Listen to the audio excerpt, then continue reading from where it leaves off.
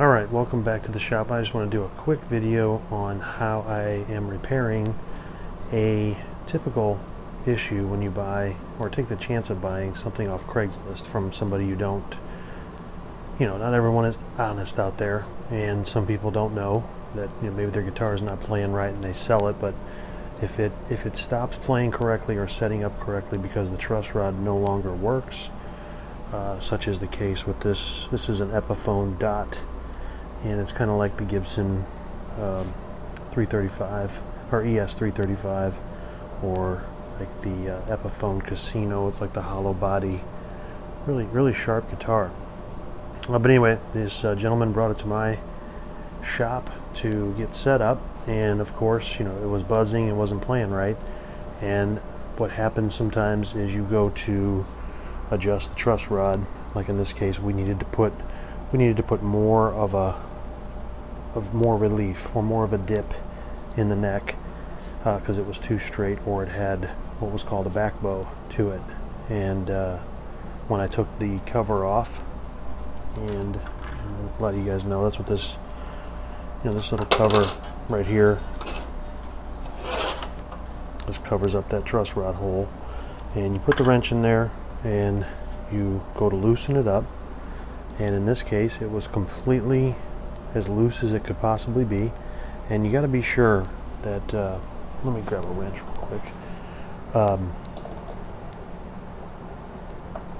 let's say, let's say you are, let's say you're adjusting this truss rod, okay? You go in there and you have it all set up and, you, and you're, you're going to loosen it. Now, you, you loosen the truss rod as much as you can and then once you feel all the tension gone, keep going and if it starts to grab again, like it starts to feel like it's tightening up, then you have what's called a two-way truss rod. So it would actually bend the neck back uh, the way you're wanting it to go. So those are great to have, but a lot of guitars don't have those, and unfortunately this one doesn't either. So in this case, I want to loosen the truss rod up to get the proper relief in this neck, and it's basically spun off or there was no tension whatsoever and even at doing even after loosening it completely to that level it had uh, it basically had less than two thousandths of an inch relief which is unacceptable and it would never really play right.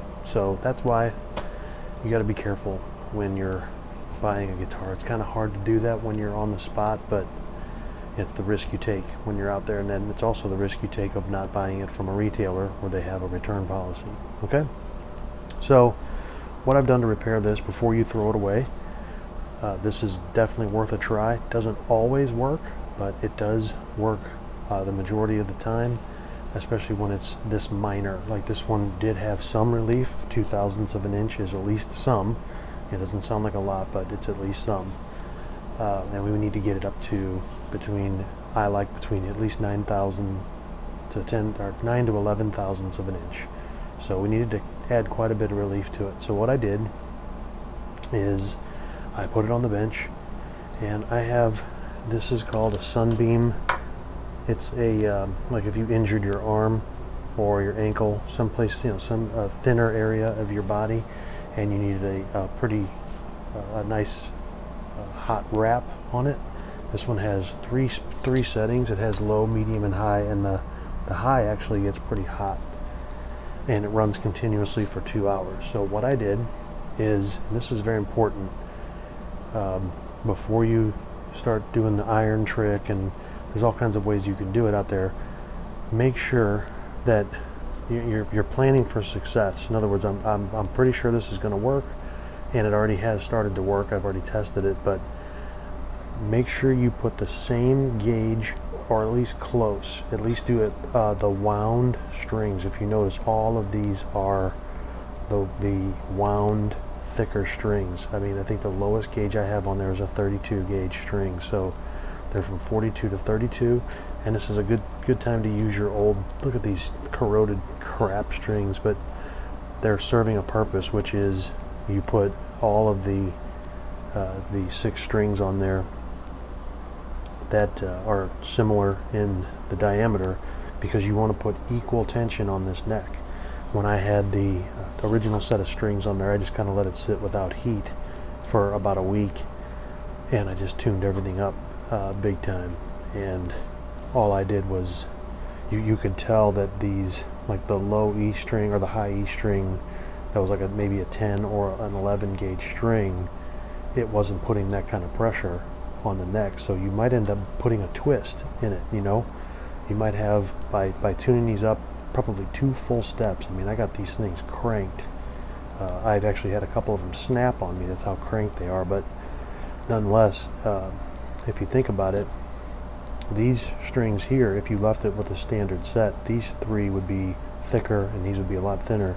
And the amount of force that's pulling, you know, this direction on those tuners and down here on the bridge, you want that you know you can't have that offset or else you're going to get a, a kind of a, a twist to the neck. You know if it's pulling this side more you're going to end up compounding and making a bigger problem than just having a neck that doesn't adjust or has the proper relief. So it's very important put at least the, like stick to the wound strings do your thicker ones on the outside so you have nice even pull you know thinner if you have them or if not at least do all wound strings because they can take that uh, tension and uh, really crank it up. And the way to test, there's no way to do it like a tone test or anything like that, but take your finger and feel the resistance. And as soon as you feel the resistance that's a little bit different, tighten them up to feel about the same.